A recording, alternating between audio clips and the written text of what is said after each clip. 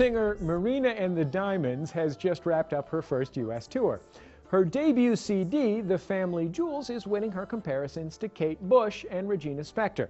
The grid music expert Ryan Downey met up with Marina at her show in Los Angeles.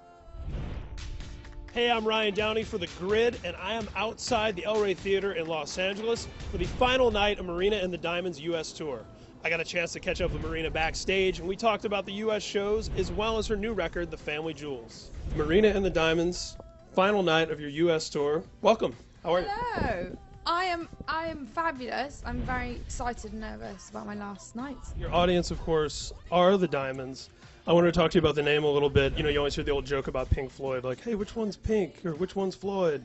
And, uh, you know, does it get tiresome correcting people and explaining what the name means? And, could you tell us a little bit about it? Not at all. I don't get tired of it because it's what I live for. It's like, you know, I had the foresight five years ago to imagine that one day there would be a group of people who would make me what I am. And, um, and again, it's I, I, don't want it to be this kind of solo artist pop star project. I'm not a pop star. I'm someone who loves performing. I love a show. I'm very theatrical uh, artist, and um, I don't know. I just I really want to connect with the audience. I don't want to just go out there, sing the songs, sing the hits, go back in, you know, go get pissed. It's like I want people to feel that they've had a real experience at that show, whether I'm playing 60 people or 6,000.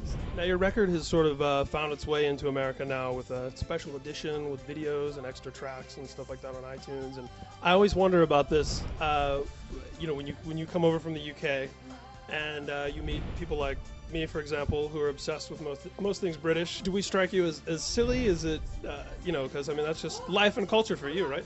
When I perform a video dressed in an American flag, don't you think I'm weirder?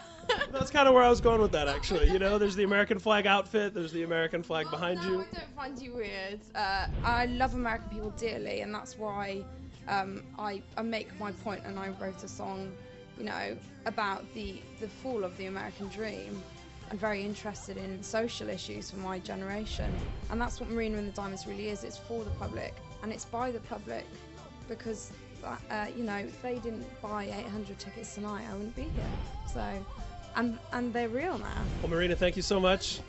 Marina and the Diamonds. To see more of our interview, to learn more about Marina and everything she has going on, head on over to ifc.com slash the grid.